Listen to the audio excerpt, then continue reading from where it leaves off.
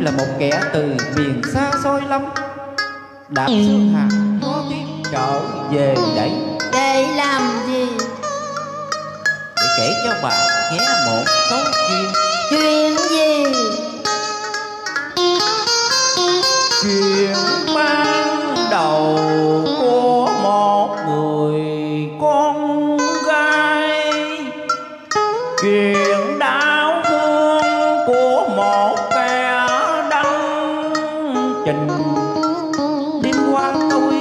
về. Ngang nơi họ.